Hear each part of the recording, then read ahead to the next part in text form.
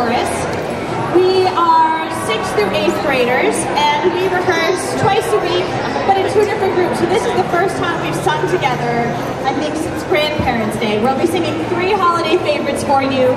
Um, I'm sure you all know them by heart, so please feel free to sing along if you'd like to sing with us.